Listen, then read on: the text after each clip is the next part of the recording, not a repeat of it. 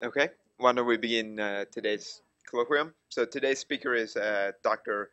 Odele Coddington, and she received her PhD from University of Colorado in the Atmosphere and Oceanic Science Department in 2009, and since then she has been researcher at LASP. Her int research interests include the measurements and modeling of solar irradiance and the shortwave radiation at Earth observed from surface, air, and space. Uh, and this includes the measurement and modeling of solar irradiance, including the uh, development of solar irradiance climate data record, which she will talk about today. And she is also involved in the spectral irradiance monitor instrument that is part of the total and spectral irradiance satellite, which will be launched in uh, this year. And today she will talk about uh, the NOAA solar irradiance climate data record from modeling solar irradiance based on SORCE observations to extending our understanding of solar irradiance variability with future TSIS observation. A mouthful. well, thank you very much. It's a pleasure to be here. Um, and thank you for the introduction, Nick. So this is this is work that I have not done by myself. So um, uh, my primary colleague on these efforts is Judith Lean of the Naval Research Laboratory. And I'd also want to thank, of course, the um, SORCE and TSIS scientists at LASP for which we're using their measurements and gearing for their future measurements. Um, the contributions, um, as I said, this solar radiance climate data record is, is funded by NOAA. uh, NASA has a big part in this as well because the Naval Research uh, Laboratory Solar Variability Models um, were developed from the NASA SORCE, uh, under the NASA SORCE mission. So I just wanted to uh, begin with this um, short movie, which kind of establishes the motivation for this talk, where we understand that the, the variability in the magnetic flux produces solar radiance variability. Let me move this down here. I I, there we go. Sorry. And we know, understand that um, the vast majority of the solar radiance um, reaching to Earth emerges from the photosphere, the lower atmosphere of the sun. And what I've shown on this time series here as this movie progressed was these images of the sun followed by traces of um, solar radiance observations from the NASA SORCE mission. We have uh, TSI from the TIM instrument in the top plot, and then several um, integrated regions uh, that have contributions from the SORCE SOLSTICE instruments and the SORCE SIM instruments. And in, ble- in green, excuse me, is, is the results of the model that I'm going to be talking about today. And how that, basically how, how these magnetic features on the surface of the sun change the variability and our ability to measure and model that irradiance change. So as some background, I wanted just to briefly introduce some terms. So I'm going to be using the term Naval Research Laboratory, or NRL, and these are the solar variability models by Judith Lean. And we've termed them NRL TSI2 and NRL SSI2, and that number 2 refers to our updated model, version 2. And the other thing I'm going to be mentioning is that it's this version two of these updated NRL models that are transitioned or have been transitioned to the NOAA Climate Data Record Program in 2015. So at last, we're operationally producing this modeled record, and it's publicly available. So the outline of my talk today is just to give a little bit more brief outline of this NOAA Climate Data Record Program talk also about the model formulation, what deliverables we provide with, as part of the climate data record, um, so our plans for uh, an upcoming revision, which is going to be version 2, revision 1. Then I'm going to spend most of the talk doing comparisons against um, observations, and these are observations by the SORCE uh, mission. And then one other model, uh, SATIRE model, touch briefly on the quality assurance that we include in the climate data record. And the last half of the talk will be, or last third of the talk will be the upcoming TSIS mission and how we anticipate its role will shape our um, future estimates of, of this solar variability model. so the, the NOAA um, program, actually it's, it's called the National Centers for Environmental Information, or NCEI. It was formerly the National Climatic Data Center. Maybe more people are familiar with the term NCDC. Um, a couple years ago, they had this name change. I'm not sure the reason why, but it's now, now NOAA NCEI, and they have formed a climate data record program.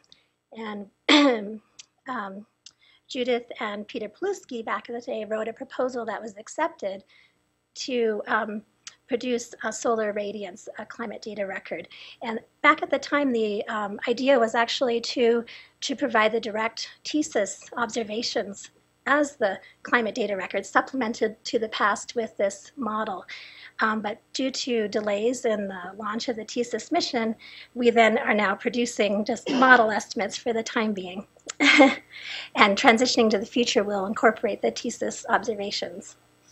So the Climate Data Record program there um, uh, uses the definition of the National Research Center, or excuse me, National Research Council of what a climate data record is, being that it's a data record with the length, consistency, and continuity to be um, useful to broad user groups of uh, climate variability and change.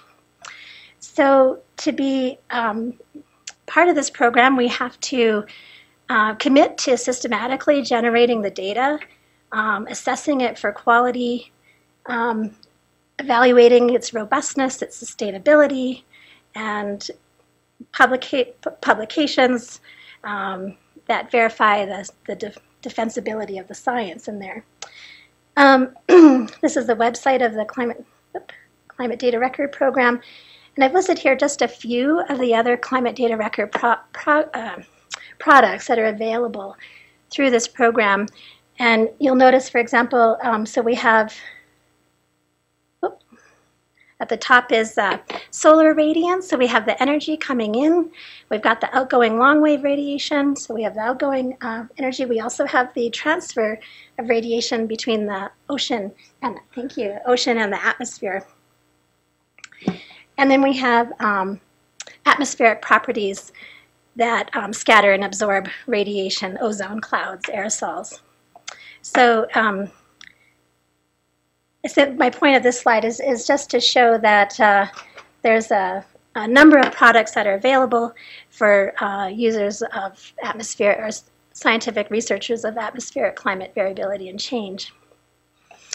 Okay, so let's talk about this model formulation of the Naval Research Laboratory model. It's a what's called a proxy model, um, where it, we're essentially uh, parameterizing, if you will, the the irradiance change that occurs from changes in magnetic features of the sun that um, are evidenced by dark and light patches on the on the sun's surface.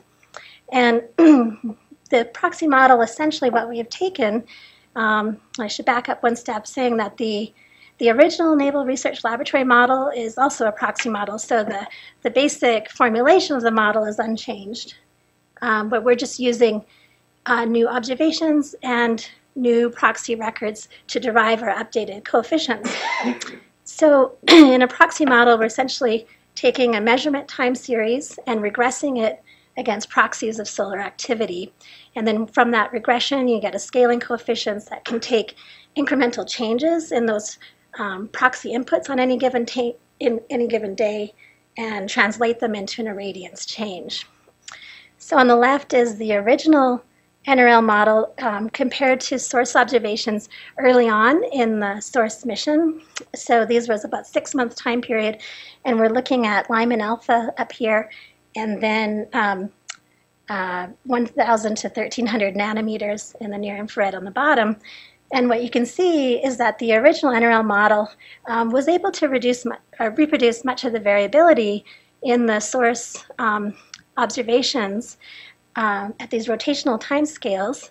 And we can also see of course, as we understand that the um, spectral radiance change from from these magnetic features uh, varies uh, quite strongly with uh, with wavelength. So, for example, um, there was a this was the October um, 2003 Halloween storm, a large sunspot group, and we see a reduction in the near infrared um, radiation, um, but a corresponding um, increase in the facular brightening activity in the Lyman alpha time series that tends to kind of um, oscillate for, for several solar rotations. So in this updated model, we're actually using the SORCE observations from 2003 to roughly 2014. So it was 11 years of SORCE observations. And that was our, our measurement record. And we're using the University of Bremen's uh, composite magnesium 2 index as our proxy of facular brightening. And the um, it's the uh, U.S. Air Force um, SOON network. It stands for um, Solar Observing Optical Network. This is a network of, of ground stations that measures sunspot area and location. and we use that to derive um, a sunspot darkening function. Now, with because the uh, the long-term stability of the SORCE spectral observations are are felt to be less stable than the total irradiance observations, we actually detrend the SORCE spectral observations prior to getting our regression coefficients. And what I'm showing on the right is then the results of this new model. Um, the top plot is a difference in between the SORCE TIM observations between 2003 through 2014. This was the model training period. Um, and what we can see is that we have um, a zero mean difference with essentially no slope there. And uh, the darker line is a, is a one year annual smooth of that. And the bottom is a, I think it's roughly a year period of comparison, oh, excuse me, that should be NRL SSI2 model, comparing the spectral estimate to the SORCE SOLSTICE observations. And you can see that there's much in commonality between um, the features captured by the model and the observations, but that they um, do, do, diverge over the course of the year. And as I mentioned before, that, that was actually imposed in the model formulation. So, so just real briefly here, the deliverables. We, the I whole point of this um, producing, producing the solar radiance climate data record, of course, is to take these um, SORCE instruments, the TIM and the SIM, and um, compute this model. So we have these coefficients, and then we can go back in time and to wavelengths that have not yet been observed from space and construct a longer term record of the total and spectral energy um, coming to the Earth because, of course, the sun is their most dominant source of energy. Sorry, just ask what, what are the actual to the model, the NRL? Is it just the magnetic field? No, we, we use a we use a proxy of we use the magnesium 2 as a proxy of the facular brightening, and then the uh, we drive a sunspot area and location on a given day. So we essentially just have the two inputs. That answer? So it's different than if you're familiar with the SATIRE model, which is a semi-empirical model that um, derives derives these facular and sunspot features from magnetograms. So it partitions that magnetic variability from the magnetograms. And here we're using proxies of solar activity. It's, it's image based, right? I mean, otherwise you wouldn't need the central limit behavior with the two components. So it's a three, a three component image intensity selection uh? So the Let me see if I can answer this question. It might show some of my misunderstanding. Um, so we we do not use imagery, but the we do account for the center to limb variation in a in an empirical relation of the sunspot area and location on the disk. So we have looked at um, different assumptions in that contrast, trying to best find a mix, um, a match from our proxy representation of that to the irradiance measurements, but we're using a parameterization. Um, there has been, uh, Judith has investigated in the past different um, empirical assumptions of the center to limb um, uh, dependency and hadn't found, um, actually, probably I shouldn't say too much more because I'm that was an area that I didn't know so much about, but I don't. Essentially, it's the magnitude the primary input, mhm. and from that, then, the, the, I just don't understand how the limb brightening function is then applied, because you need to know where, where you are on the disk in order to apply a function. to apply the magnesium to No, index. to apply any. You know, we we uh, we don't do any changes to the magnesium. We don't. We just use a disk integrated magnesium irradiance. Um, the we do evaluate, or I should say, Judith has evaluated the dependency of um, sort of the. I guess she calls it the seeing of the sunspots. So where the sunspots are on the disk relative to the observer on the surface. Um, and there's So- no. How does the model know where the sunspots are? We know them from the, oh, so we're, That's what I mean by. yeah, no, we, we've, so essentially we feed the, the model this sunspot darkening function, which has been derived using um, an assumption, an empirical assumption of sunspot area and location. Um, so we get the sunspot area and location from these network of ground um, observatories. It's input, yes, and so, yeah. Sorry. No, no, that that's okay, and I'm. It's good that you asked that. Now, It's- now I understand. Okay, did that answer your question too, then, or maybe not, or Yeah. Yeah. okay, all right. so, um, so I'd mentioned that we're producing the the um, TSI and SSI. Uh, this is um, we provide daily and monthly averages um, from the time period of 1882 up to present day, and then yearly averages from 1610 through present day. Uh, we also have produced a, an observational composite of TSI, and I'll, I'll go into that more later. But um, we uh, append to that data directly with the SORCE TIM observations. Um, we also provide uh, reference spectra. These are at one nanometer spectral resolution.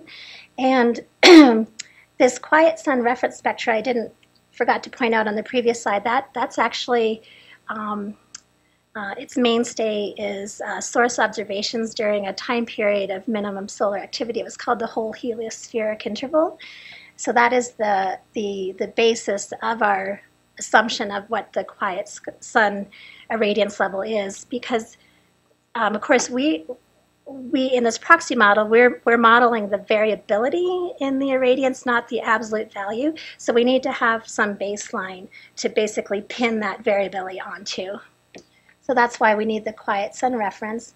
And then we provide um, model estimates from um, selected periods during low, moderate, and high solar activity and output those also as a one nanometer spectral resolution. And then an estimate from the Maunder minimum. Other things we do, we do give a time series of our model input. So this would be the derived sunspot darkening function, um, as I described earlier, and the magnesium 2 are essentially the proxy of facular brightening that we are using. Um, we've got this all documented in a, what's called a climate algorithm theoretical basis document, and we have to provide stewardship for this data record in terms of um, at, at least yearly quality assurance reports. I'll talk about that. And our quarterly data that we deliver, we replace at year end with final data upon completion of this quality assurance report. So essentially, our quality assurance report um, is is for the most part um, really um, scrutinizing our time series of model inputs. So we compare our model inputs against independent proxies of solar activity, and, uh, and so we. On the year end, when we have checked everything out as best we can, we stamp them final and we replace our preliminary data with a final product. um, there's a couple different places you can get the data from the NOAA website, and you could also we also have it hosted at LASP LISIRD site, which I'm sure you're familiar of. Um, I wanted to show, um, just talk briefly, because we're, we're at a point where um, our initial data set has been released for about two years now, and we're we have there's of course been research advances um, in the solar community that we wanted to incorporate um, in this model. So uh, we are having an upcoming revision, version 2, revision 1, that's coming out soon. And the results that I'm going to be showing shortly are going to be from that new revision. So I just wanted to introduce um, what we've what we've been addressing as part of that. So the, the first one here, um, this is work that Judith Lean has done um, on the sunspot darkening index. So she was looking to see if she could improve the parameterization of the sunspot contrast with area. And she did this in a couple different ways. I mentioned that we we use this network of SOON stations to to give us the um, sunspot area and location data. And you know, there's variability from station to station. So she she assessed, well, if we take all the stations or a subset of them, how does that impact our sunspot darkening function?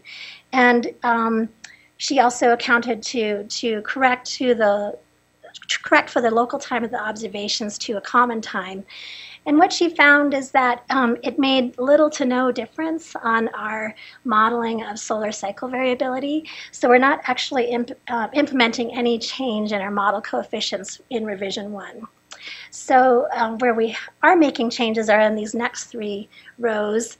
Um, the one big one is the sunspot area data sets, and Andres knows much about this. Um, so essentially, there there is a um, to go back further in time, we have to start piecing different observational data sets together.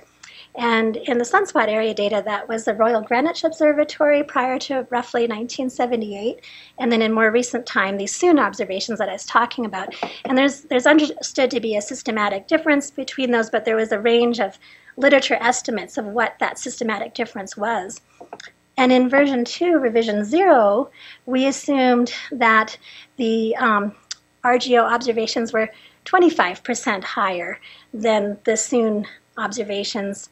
And Judith has done some independent um, correlations with sunspot number, and she's, she's found that a 49% um, scaling, which would be a 67, basically re reducing the RGO areas by 67%, is a better fit.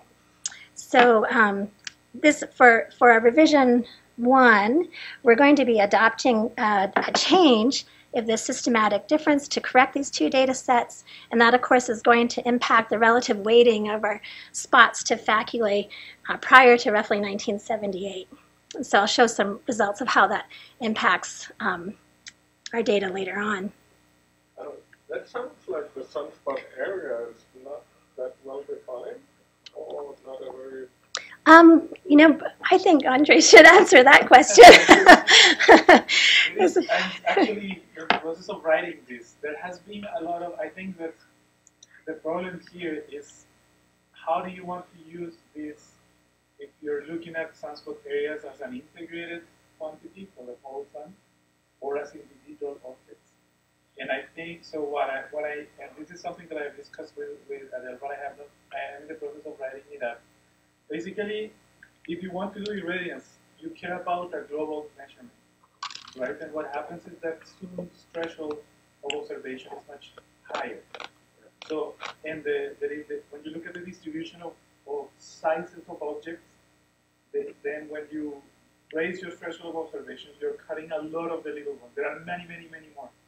And so that factor that they're talking that they're talking about that they should use is trying to account for the fact that SOON is missing some of these spots. a lot of the little ones and has a larger sensitivity on the little ones. But the thing that, that it has people one has to be careful is if what you care is not the integrated quantity, but the individual objects, you shouldn't apply any correction. The instruments are all consistent with each other. So once you make you apply a threshold to SOON and to uh, and to RGO, and then you look to object individual objects, then you have to be careful because if there is any correction that needs to be made, it's not the same correction that you do when you look at the integrated uh, quantity. So that's kind of like what is going on there in those. Uh, those that, that factor that is missing is actually the objects that SOON doesn't see, but that RGO did see.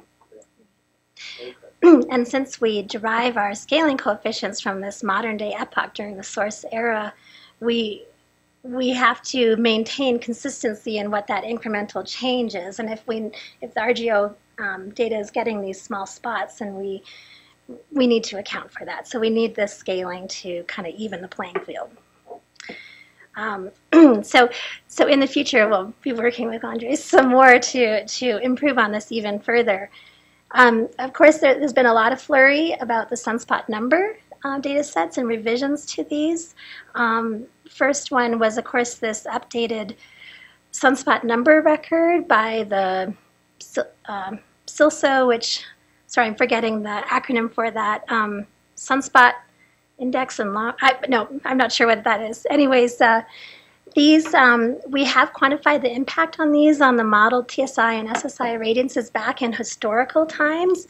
And so, um, what we thought would be useful for the atmospheric community is, is to have um, two of these historical records, so from which you can kind of consider that the difference between them is an uncertainty on what that um, modeled SSI and TSI is is in the in the historical, um, you know, prior to 1881 or 1882 timeframe. And then the, the last thing is in terms of the observational composites. Um, in our revision zero, or original um, release, we we created our observational composite of um, using um, based on uh, PMOD composite and ACRIM composite. We first individually scaled these to the SORCE TIM direct observations, which are is our gold standard now for um, accuracy and precision of TSI observations, and then um, average those together. And then for the time period of the SORCE epoch, we replaced that composite data with the direct SORCE TIM observations. There's now a um, uh, composite also by the RMIB, Royal Meteorological Institute of Belgium. And so we are going to be incorporating their composite as well um, in the same manner, the approach I just spoke about. So, so I think that's kind of all my, um, I should move along here and talk about some comparisons against the measurements and the models. And so the, I, in, in the tr- introduction, I talked, said I was going to make these comparisons against uh, the NASA SORCE um, TSI and SSI observations, and also to this SATIRE model, which is this semi-empirical model that also assumes that the irradiance, changes are due to uh, changes in the surface magnetic field, but that they derive um, the um, distribution of the bright and dark features uh, from a magnetogram image. So let's launch into some TSI comparisons. So on, on the large plot, plot to the left is um, um, 13 or more years of the SORCE TIM observations in purple, and in the green is our modeled output. And I remind you that, of course, I used uh, the model training period was from 2003 to 2014, and um, we don't do any additional fitting to the SORCE data. We derive these coefficients, and um, when using our model inputs, we estimate the radiance, and that's what you're seeing here. There isn't anything that we um, do after that to say, okay, now apply a fitting function to meet the SORCE TIM data. So the top plot is just is the difference in these uh, records over time uh, through late 2016 um, for the NRL2 model, and in the bottom is the difference rela- related to the uh, SATIRE estimates of TSI. And you can see some similarity and dis- differences between the um, how well or how not well the models recreate the measured um, TSI variability. So, for example, in periods of maximum activity, both both the models have more trouble um, capturing the full variability of the observations, and both models tend to overestimate uh, solar minimum conditions relative to the observations. But you can also see that um, there's a, there's a long-term there's a trend in the long-term differences of the SATIRE model that I'll talk about more um, yeah, upcoming. But our ability, so thus far we've been able to model the um, observed TSI to within the stability of the SORCE TIM instrument. And these are some SSI comparisons from the SORCE SOLSTICE and SORCE SIM uh, instruments. And I'm just showing uh, part of the spectrum here. Um, focusing on the left is um, primarily data from, actually this is all data from SORCE SOLSTICE in purple over the length of the mission. And on the right is primarily SORCE SIM. There's a little bit of SORCE SOLSTICE here, but um, only up to about 310 nanometers. So this story here is uh, from the SORCE SIM instrument. And um, we've, I've normalized the uh, data to match the model at 2009. And you can see the values of these uh, uh, normalization coefficients in the legend. So before I talk about uh, maybe differences in these plots that your eyes are drawn to, I just wanted to set the stage um, for the fact that as we understand that the variability in the sun and the spectrum is highly wavelength dependent. And um, so you can see for here in, in the Lyman alpha, we have uh, variability reaching 60% um, uh, relative to the minimum conditions, dropping here to, uh, to 3%, and then even less as you go out into the visible. And there's uh, Marty Snow is here in the room, a SORCE SOLSTICE instrument scientist, and uh, this is actually not, I'm not showing the most recent SORCE SOLSTICE data. He's recently come up with another um, uh, release of data that's even an improvement along here. And um, the fact that um, the it's it's unclear um, early in the mission if there's a potential that there's some um, instrument signal that's remaining in the observed record. Um, and that's um, kind of a longer, convoluted, difficult problem for Marty to untangle, and he's working on that. On the right, we see kind of more more differences in the record and um, I've kind of, I've actually, hope you can see there's a couple points here that the SORCE SIM instrument scientist has pointed out as being um, likely, uh, where these kinks are likely of instrumental um, origin, uh, whether it was due to a change in the operations of the instrument or even in a change in the operations of the spacecraft. Um, SORCE has been operating for some time in a day-only operations uh, mode where the instruments are um, um, only on on the orbit uh, sun side. Um, even and actually since December, it's now operating in something called brownout mode. So, yeah. So these uh, these sort of different spacecraft changes affect the the temperatures um, and other things in the instruments, and it's felt that those um, those haven't been fully corrected for in the observed record. So, Mhm. sorry, Mhm. with, changes, are you standing by this result that the change in the shorter wavelength is opposite to the one in the longer wavelength range? Does that still hold? Uh, I think your question is more about the, are we staying by the, uh, the out of phase uh, behavior at the longer wavelengths? And, Yeah. Uh, so, Yeah. so I'm, I'm not the instrument scientist on that instrument, but I believe that yes, we, we still stand by that, that conclusion. Okay, okay, good. Mhm. Sorry. No, that's fine. Um, so I, I wanted to, um, well, so in our modeling approach, we, we actually have a different assumption that we, we actually assume that there is um, instrumental artifacts in the um, particularly in the SORCE SIM observations. But I wanted to establish by this plot here is this actually show um, solar rotational variability observed by SORCE because this is what we've actually worked to capitalize on in our updated model.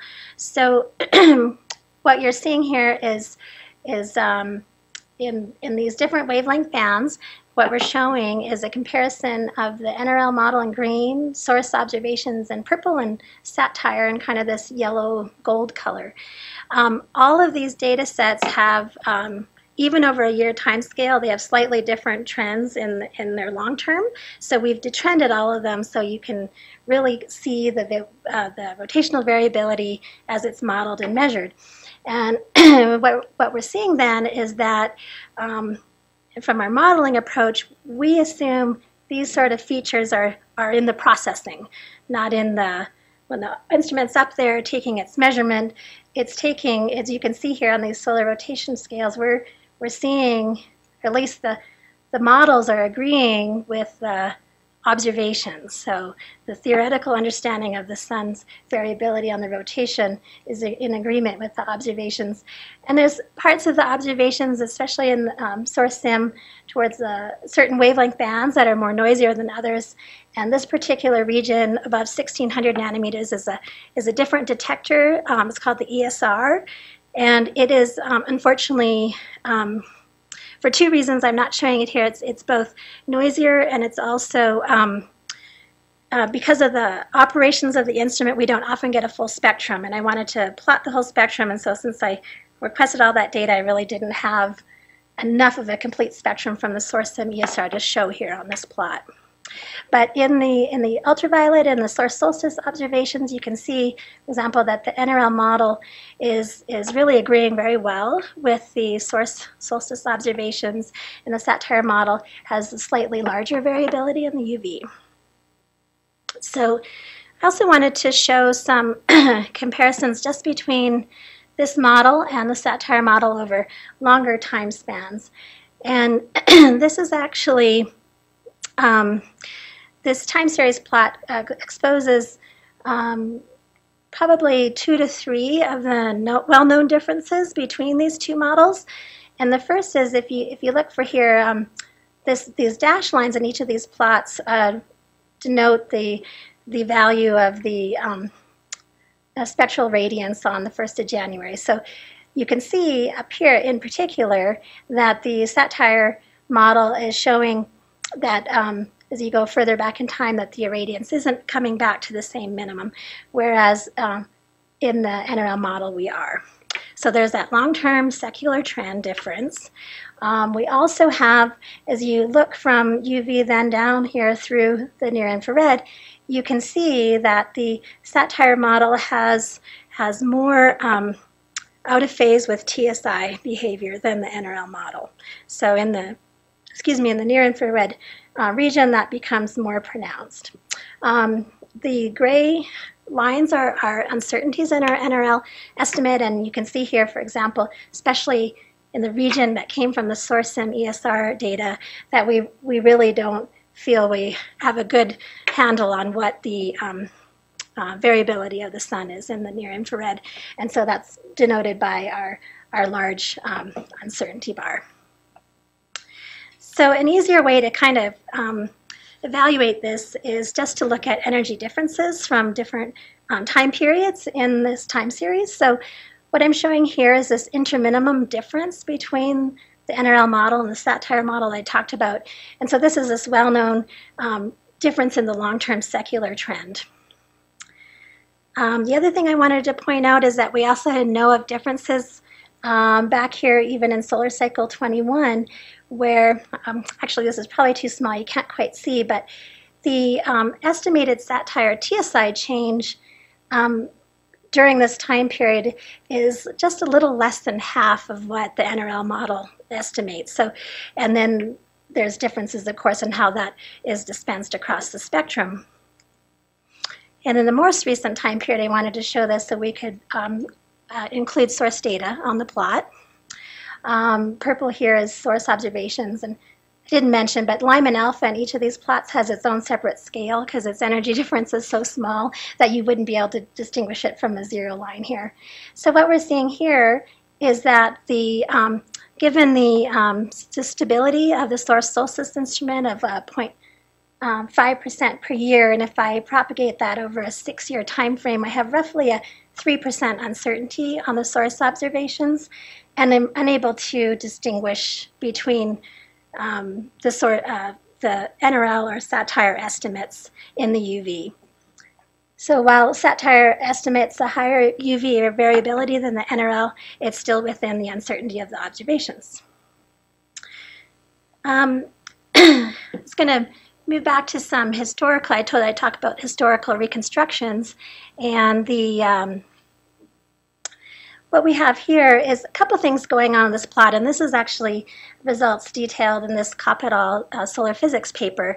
But this is where um, uh, we investigated the impacts of this new revised sunspot number record by the SILSO group on the estimates of irradiance. I'm just showing the results here back to um, in TSI back to uh, 1600. So um, this, if you look here in the lower left first, actually we have in black is is the um, the Hoyten uh, Schatten. Um, I think that's how you say it. Hoyten is it Schatten or Skatten? Anyways, Schatten. Okay, uh, it's a group sunspot number record, and it has been um, uh, scaled. Uh, such that uh, it's, it's, highly correlated with the um, revised uh, SILSO sunspot number record, for time periods after 1882. So you can see that the, the difference, the largest difference between these two estimates are prior to 82 or 1882 or 1885.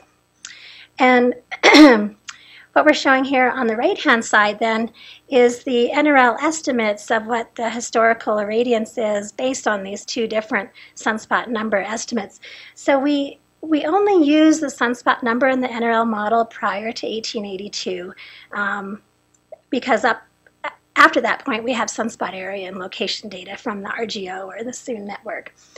Um, so what you're seeing here in this collection of plots is um, differences that start to emerge prior to 1882, where we, you know, you expect differences related to the to the sunspot number data, and that you can see that using the SILSO record, which is this upper collection of curves, that while the Maunder minimum like estimates of solar radiance are not changed so much, the SILSO estimate would have you coming out of that period at a, at a faster rate and to a higher value.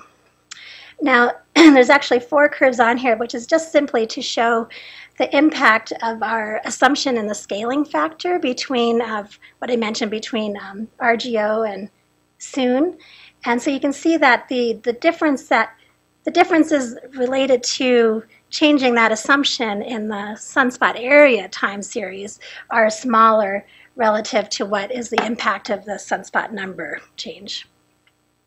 So, this is what's always mystified me about this model. Is that if you look at the lower envelope of the, uh, of the model, okay. Uh, which, which doesn't really vary with this sunspot revision, uh, significantly. Right. Um, you see a very distinct behavior. Uh, you see that the Maunder minimum was significantly lower than our current yes. idea about solar minima. You see a increase during the 1900s of the uh, right. and then it sort of flattens out. And, and yet, when you show it at high resolution, a few slides back, the NRL model is, is, is quite sure that the last several solar minima were identical. So so what's the basis? Yeah. Oh, you know. variation. Yeah. So, um, right. It's only coming out of sunspot number. Yeah. Over the sunspot number and the sunspot number record says, well, at solar minimum, sunspot goes to oh. Zero. Right, and you would expect it to be flat then. I've, I've uh, neglected to tell you a very important thing, so thank you for asking that question. Um, uh, Judith has assumed that there is a secular change in um, facular brightening over a longer time due to um, ephemeral regions, emergence of ephemeral regions. And she has done some work with a colleague at NRL to, um, to essentially estimate the emergence of these ephemeral regions using a flux transport model. And so what you're seeing, the change in this back, uh, baseline is what we call the background. So this is not related to the solar cycle behavior. So how we how we account for this or how we present this in the in the updated NRL model is that we the the magnitude of this um, change in the secular background is very speculative. Um, and it has a is a um, you know can range from some people say it's zero to others say it's it's you know five six watts. Um, yeah. one reason that is the speculative that for example uh, these minima just after 1800 are so deep is that when you have uh, very weak cycles then you have in the minimum phase more days with zero sunspots, as in solar minima between very big cycles. So the total number of days where there is no spots uh, varies quite strongly, and I think that uh, gives rise to uh, judging that this minimum is deeper.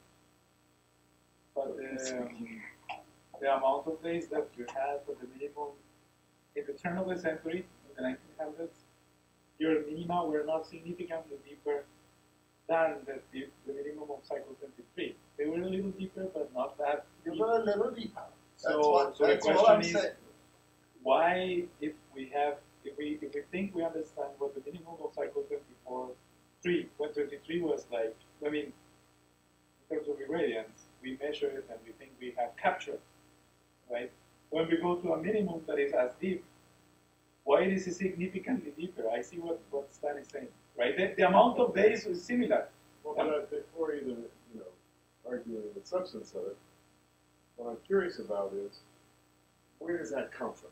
I mean, this is a proxy-based model, driven off primarily sunspot when we go back in time. Uh, and so, what's what's the source of, of the yeah uh, of this variation? Let me try and tell you what I understand, but it's probably not going to be what you, so in, in, in the modern era when we've had magnesium 2 index, the assumption that Judith makes is that she has a global irradiance that represents the, the facular brightening and that there is no, I mean, that would capture any ephemeral emergence. The my understanding of this flux transport model is that her colleague essentially used the sunspot number and some assumption of how they're distributed on the um, solar disk, and then essentially estimated from this flux transport model what this sort of secular change in facular brightening would have been. And that is what is reflected in this changing background. Now, she has recognized that she uh, what she told me is that this is, is is definitely a point of contention in, in the community and so what we've done in this updated version is that the the whole the magnitude of the TSI or SSI change that we're saying is this um, speculative background component, we had add that whole magnitude to our estimate of the uncertainties. So if I had plotted the uncertainties on here, you would find that they're enveloped in a range that is not inconsistent with no change, you know, like just a cycle only activity. So, um, but, you know, unfortunately, I, I just don't know enough to, to talk in any more depth about, you know, what ephemeral regions are and how they, where they come from. Um, I'll have to talk with Judith and get a little bit more knowledgeable about that, or maybe you guys can help me figure that out. But um, yeah, so she did mention that this was in the original model was was a was a was a source of disagreement, and this was her approach to um, both provide this estimate, but also include it in the uncertainties. And also, um, we, we can easily provide um, an estimate of historical radiance based on only the cycle of the sun. And so just please ask me because I could provide that to you if you're interested in having that. Um, I'm not going very fast here, but this is fine. This is great. You know, we, maybe we don't get to the TSIS stuff. I'll just summarize TSIS sim because that's the exciting stuff. Um, this um, Kopp paper also um, showed reconstructions uh, using the SATIRE model that I spoke about. And I'm not at all an expert on the SATIRE model, but it has different um, assumptions based on the sunspot number and how it uses a sunspot number. And so what, what you're seeing here in, in this record is, again, prior to this 1880 time period, um, an even larger um, difference relative to what they would estimate based on the Hoyt and Scatton, Schatten group spot number here in blue. Um, so um, the such that um, at in periods that the historical irradiance was even larger than present day.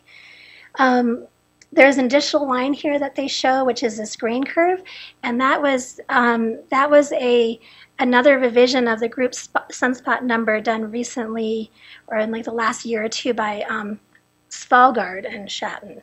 And so you're seeing that that revision of the group sunspot number has more solar variability in that um, Maunder minimum period, and you can see, I wonder, um, I don't actually show it so well, but this is the this is the fractional difference of those relative to the irradiance you would get using uh, Hoyt and Schatten so I, I, can't speak to to why this is, um, but um, there's different, de definitely the different models use a sunspot number in different ways and have different assumptions based on the sunspot number. Any questions on that? The um, just real brief, I wanted to show our observational TSI composite for a new revision as shown here in red and it's very, very similar to our original revision. The only difference is that we're going to be using, incorporating this um, TSI composite from the RMIB group. It's in a Belgian group. And so it has Acrim composite, PMOD composite, and RMIB, um, both scaled to SORCE TIM and then averaged. And then in the beginning with SORCE TIM observations, it's just the direct data there. So people say, well, why did you add another TSI composite to the mix? Well, our point was to actually provide a composite that at least only had the highest accuracy observations included in this most recent time period. Um, quality assurance. So obviously, when you have a model, you're very sensitive to your model inputs. You, you want to be sensitive to your model inputs, but you're also uh, highly sensitive to uncertainties in those model inputs. And, and actually, the accuracy and precision of these proxies are largely unknown.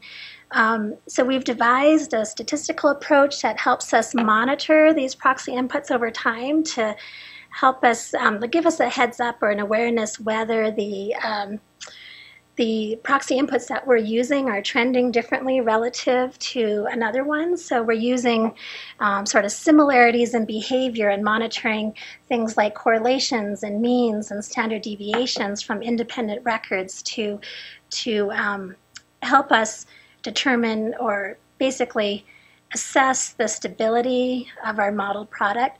And I wanted to show one example here that's um, of, of why this this um, maybe rudimentary approach has been beneficial. And so, for example, what we see here in the plot is a ratio of a magne magnesium 2 index from the University of Bremen relative to the OMI um, satellite. And this uh, dashed line is the one-to-one, -one, or this is the one line here. And what you can see is a, is a, is a decrease in this. There's a, a difference in a trend, essentially, of these two magnesium 2 ratios. But we were with our operational quality assurance approach, we were actually able to pick up a difference in the trend over time of of this um, uh, um, magnesium 2 index um, even before we heard from from the OMI team that they were starting to notice differences in their records. So um, it's not the not the best thing we can do. We're still, of course, looking for for ways to better um, estimate the uh, uncertainties in the model due to these proxy inputs. Um, for now, this is what we're working with, but it's certainly an area for improvement. So, um, I think what I'm going to do, just because I have um, running short on time, I'm going to just give um, really almost a two-slide summary of TSIS. Um, we're very excited about the upcoming TSIS mission. It's um, uh, scheduled to launch at the International Space Station in November of this year. Um, TSIS is going to be making the same two measurements of SORCE, so TSI and SSI, but it will only have um, one of the spectral instruments that SORCE has. So, so uh, TSIS has the spectral radiance monitor, the SIM, to measure um, 200 nanometers to 2400 nanometers. And then um, the TIM instrument, um, which is also draws heritage from SORCE, as does the SIM instrument draws heritage from SORCE. But I wanted to just discuss, um, you know, based on those differences that we saw between the um, uh, model and uh, over the model estimates of solar cycle variability over the long term relative to what um, SORCE SIM was observing, I wanted to show how, discuss why, what has changed in terms of this development of the TSIS-SIM instrument and why um, we're going to be able to achieve essentially an order of magnitude improved accuracy in the observations. And it's really due to extreme um, efforts. Um, Eric Richard here is the TSIS-SIM instrument scientist that they've been doing um, in terms of design and also calibration characterization on the ground. So SORCE here, here's TSIS. Um, the first thing is, is a big effort in terms of um, reducing degradation in the instrument or being better able to quantify degradation in the instrument by including a third channel. So essentially these will be operated as duty cycle instruments, very similar to the, to the um, operations of the TIM instrument where you have one channel observing the sun uh, on a frequent basis and you open up a backup channel less frequently and you know you're assuming that um, uh, changes in the irradiance measured between the primary and the backup are then due to degradation on the primary, so you can correct the primary. And then we have a third channel that is used approximately once a year that'll be used to correct the backup channel. So we have the three channels. Um, we have, uh, they'd spent a lot of efforts improving the noise characteristics of the ESR. Um, the ESR is the detector that measures longward of 1600 nanometers, where the SORCE SIM ESR was, uh, was, was noisier. Um, that's uh, big efforts on there, so that, that's a great improvement. And then they did um, absolute, absolute calibrations of the irradiance um, that they've, um, Eric and um, people in the calibration uh, division there at um, LASP, Ginger Drake and Dave Harber and others developed this, um, what they call the um, uh, CIRCUS, or S LASP Spectral Radiance Facility. Um, and I can show just one picture of their setup here, where essentially they are using um, a cryogenic radiometer as the uh, standard. It's a NIST standard. And then um, a series of lasers that cover the spectral range of the SIM to uh, compare the output measured from SIM to this cryogenic standard. And I wanted to show you just how well they've done. So this is, there's a lot of, um, a lot of work that went into this plot. And what you're seeing here is across the spectral range of the SIM instrument. They've, they've done such a good job of characterizing each individual component of the TSIS SIM measurement equation that they're essentially able to predict what the output from this cryogenic radiometer would be to within 0.2%. So that's an order of magnitude improvement from the SORCE SIM observation. So a real heroic achievement. So uh, those are the pictures of the instruments. We're ready for flight. And I'm going to conclude um, maybe instead I'll just provide actually an outlook. So I won't rehash all the stuff I talked about today, but just to give some kudos to the um, SORCE team that uh, how their data has helped improve the NRL models. Um, we're excited about the future TSIS observations to improve our parameterizations of solar radiance variability. Um, there's a couple things here that we're interested in doing into the future, and one of them is developing a high spectral resolution proxy model, and I was wondering if this is of interest to anybody here, or if you may have any feedback for me or other suggestions for improvement. And, uh, and thank you for your attention.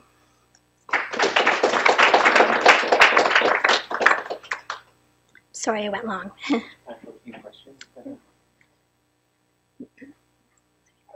Maybe, maybe you can I was wondering, when you look at all these boxes and how they correlate with each other, you have also dependence on the staff cycle. Say again, sorry. Oh, uh, the way in which all these relate to each other, you see that the correlation is not constant over time, but they change depending on the staff cycle. So do you take that into consideration in, in any way, or it's just really based on social knowledge? In well, I mean, we so we are essentially taking, I mean, I guess one answer to your question, I think this is what you're asking. We developed are these scaling coefficients from the 2003 to 2014 timeframe. So you're asking, okay, what if we had done those scaling coefficients at another cycle? Um, yeah, no, we, we are, we actually, that's an open question. Would those scaling coefficients be the same? And we can't say. Um, we're, of course, that's one of the reasons why we're quite excited for, you know, a longer record of highly precise solar radiance observations because we could start to investigate or is our assumption that these scaling coefficients from cycle to cycle are the same, you know, um, but could, we could be wrong. Yeah. So, as I understand the effort is that we have now certain length of record where in space the total irradiance, say, has been, uh, change has been observed, and you have then variety of ground-based observations of the appearance of the solar disk in terms of sunspots, uh, and network, and what have you. And then there's been developed a methodology to deduce from the disk appearance proxies that uh, kind of characterize the state of activity, and these proxies then are mapped against the actual irradiance variations as measured, measured from space. And in doing this for uh, various phases of the activity, the hope was to gain a measure uh, to how accurate the, this proxy modeling can possibly be, and then going back in time where you only have proxies, first a hundred years, uh, say Yeah. where you have Mount Wilson pictures or, or things like that, uh, and then going even going back even further. Now I would assume that uh, you can sort of quantify how well you do for by now for the time where you have the actual measurements. You can then deduce a certain expectation accuracy for the last 100 years, and then with a higher uh, uh, uncertainty going back further. Could, could, could one summarize that in this way? Yes, I mean, I, I think what you're asking is, I mean, and, and that was kind of our approach is to use the very best observations we can to derive these relationships with proxies. And then going back in time, the uncertainties grow. Yeah. For certain.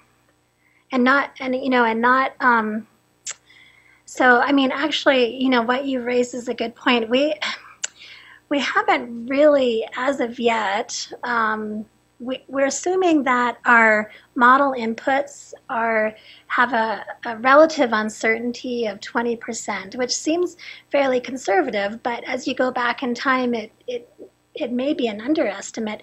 Uh, but we've kind of saying, you know, that irrespective of whether you have a proxy in, um, in, in uh, 1900 relative to a space instrument of 2014, um, we're saying both of them are encompassed within a, a 20% uncertainty in their relative, and we, we propagate that through into our estimates of their radiance Yeah. uncertainty.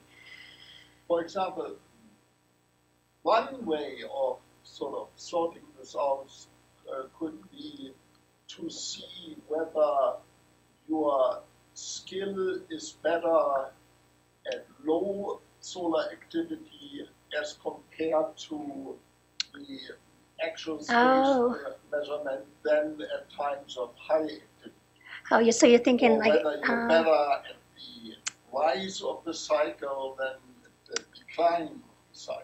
so maybe, so you're suggesting if we investigated how our scaling coefficients perform, whether we, we took a, from a, yeah.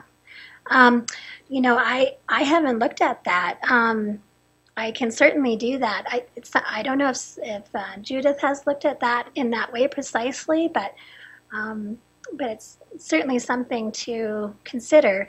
I'm, I'm assuming that if we uh, tried our approach just strictly at solar minimum activity, I think we would have not as good of a um, re- uh, regression, I think, between our um, irradiance measurements and the solar proxies. That'd be my guess. But um, actually, maybe I should back off on that because we, as, a, as we get to higher activity, we have even larger uncertainties on our proxy inputs. So, um, so I have to think about that. Yeah. So, uh, TSIS is going to get launched from the ISS?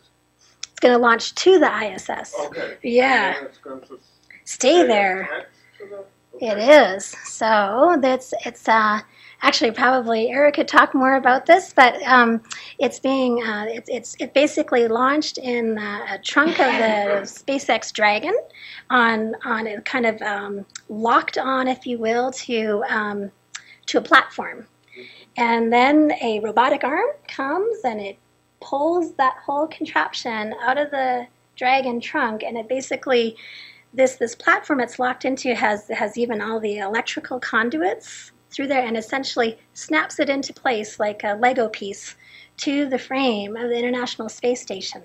And so what you're seeing here um, is is this frame attachment here. I believe if I'm looking at the image right, and then the, and then there is um, because um, so because there's astronauts at the space station. The- and, and because the space station has this huge bulk, we have to essentially lift the instruments up above the bulk of the space station so that they can see the sun unimpeded or, or out of glint zones and stuff as well. And we have to be able to stow the instruments away when the astronauts want to meander about the space station so that they don't get caught up on a moving piece. So essentially, this this uh, this arm kind of lifts lifts the instruments up, and then and then there's a, uh, a pointing system that tracks the sun, and um, is very very highly engineered to actually also damp um, motions. There's, there's basically a jitter in the space station, and it has different frequencies. And this um, pointing system is quite extravagant. It's very exciting. If you want to come to LASP and, you can see it. um, I should have put a movie in here because it's really an engineering achievement. I, I think you know it's really fun to, you know, and yeah. yeah. So, uh, why put it on the ISS? I mean, there will also be problems with Yeah, no, it uh, wasn't. red light and heating and, and Awesome cat. Yeah, right. This So- or nothing. This or nothing. Yeah, it wasn't the first choice, but they did a lot of trade studies. Yeah. Satellites Mhm. that kept getting canceled. They the option, we did some studies and said, yeah, it's feasible. So- Yeah. But it involved major engineering for a pointing. Which also handles the temperature variations Yeah. as well. It's it's a very controlled environment. I mean, well, did you con- learn from LIGO for the isolation effect? Yes, an astronaut running on a treadmill is going to affect things. So Yeah. yeah. That's why we had to get all the inputs and design the pointing platform. So are there any advantages in terms of being able to service the instrument? Well, we tried to get them to bring them back after mission life so we can study the degradation. That was possible. So, no, there's really no advantage to the space station. but it's, it's better than in the clean room. It's better to get it in space. Yeah, we will see, but we've taken all the precautions 10 years ago, this wouldn't have been an option because the space shuttle is a very dirty environment. And when it comes and opens that was going to be a, a nightmare. But, um, the environment around the station now is cleaner. But I think we're not there. Well, there was there was another instrument though on it that um, that was a spectral instrument that um, over a few years or four years or something um, had uh, didn't experience um, it's called RAIDS or something. Do you, do you remember Peter talking about?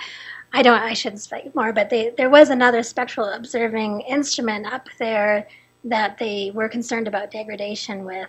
And um, there are particle counters basically with the space station, and they kind of monitor the, the number of particulates, and, and they, they showed that that was within, like under a certain level, which um, is uh, the trade study showed TSIM would be fine with. So, yeah, right.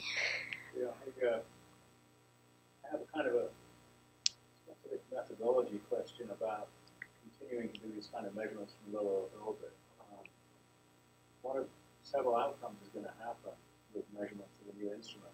You're going to find something you either agree with or disagree with and all that stuff. Then what do you do?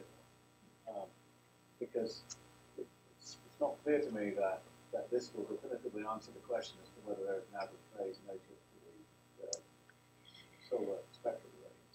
But I wanted to ask you instead, um, you know, a couple of years ago, Ricky Egeland and I proposed putting a, a, a, a hitch, giving a ride on a geosynchronous orbit mission to put a, uh, inflatable globe at some time into space and to observe that from the ground, differentially relative to the stars, much in the way that SOLSTICE does.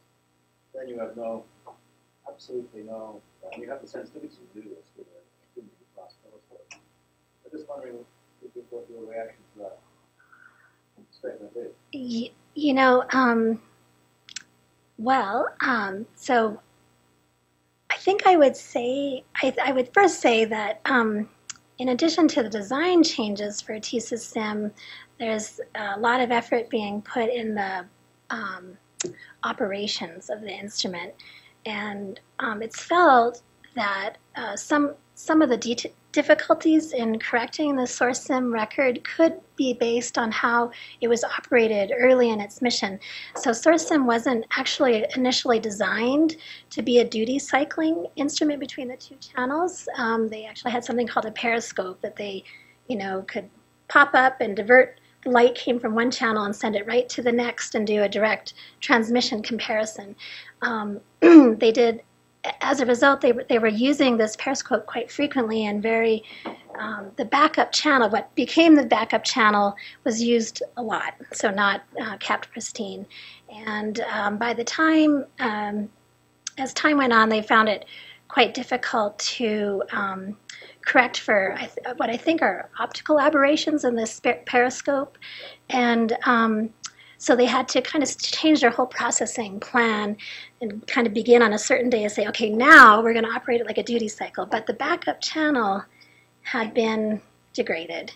And so some of the, the I think that, you know, in, the TSIS team, and Eric can talk to this too, is spending a, a lot of time thinking and just trying to um, anticipate problems and how would we operate the TSIS SIM um, and keep a very consistent solar exposure ratio times on these different channels. And um, so uh, we've got the three channels and we're going to have this consistent operations approach that's going to be very different than SORCE SIM. Um, but that is no guarantee that we won't have a surprise. So for example, if there's non-degradation related uh, change, um, our duty cycle approach won't capture that. In terms of, you know, I, I'm, I don't know much about your proposed method with your colleague, and so I don't really have a statement about that. But It's a way to stabilize. If you leave the geosynchronous orbit, it's a very, very thin environment. okay, There's nothing to change the albedo of a, of a, that object on a time scale of about 50 to 100 years. So oh, all the low Earth orbit contamination problems go away. All you get is so few particles out there. uh, and are you impacted by contamination that be on your instrument and travels out no there? an Oh. Oh, You observe it from the oh, and it's, it's received you know, incredibly negligible amount of attention. I think, well, how about how about in terms of like your solar, uh, your Earth atmosphere variability, and and how about the if you're observing this globe from the ground? Oh, but that, that's taken care of. Uh, sorry, the uh, photometry that's already got 40 years worth of, uh, of uh, work showing you can do it at the level of about less than 0.1%. Wow. So that's that's taken care of by doing simultaneous measurements of the globe against background ensemble of stars. That's, that's well known. I'm just surprised that it, it hasn't, this, this paper hasn't Yeah. more interest uh, because it can solve the problem of 100 year climate change. Whereas I think a string of a string of instruments like this will never do that. You'll never get there with my theory because you, you're always in low Earth orbit and you've got the contamination problem. And, uh, you know, it's, it's a difficult thing. So thing that was required from UV uh, The UV just causes photo electrons to be ejected from the surface. And there's no chemistry because there's nothing there. If you put a steel or uh, okay. So, you know, all Greg uh, Kopp dismissed this in a meeting, I think, rather unfairly by saying, well, you have the UV contamination. All the UV does is create a crowd of electrons around this thing. Yeah. It's inert and it's in space, so you have to have some chemicals around to do some damage to it. And. Of course, if a comet comes past, then. but it, it can be used for a lot of other things too. I mean, I think the military would be kind of interested in shooting things like it. anyway, it's just it's Right, an right. idea that, that, Yeah, I, I think uh, you know you might be interested in, in having a look at that paper. Yeah, I, love yeah. criticism of it because I have I've got none, and there's nothing worse than having a paper that's flat out ignored. oh yeah yeah no kidding. good calculation target too, so all kinds of. Yeah, uh, the trouble is it has to be quite big. You need a product of a telescope diameter and a, a, a globe diameter of about 36. So uh, uh, Yeah. the square root of 36. so you need a 2 meter sphere and a 3 meter telescope. As long as you want a steel sphere instead of a mylar balloon. Oh, well, I'll take a look. I wasn't aware. Yeah, yeah, no, it's it's interesting. Yeah, yeah. In the interest of time, Yep. we- it's not that Thank you, everyone.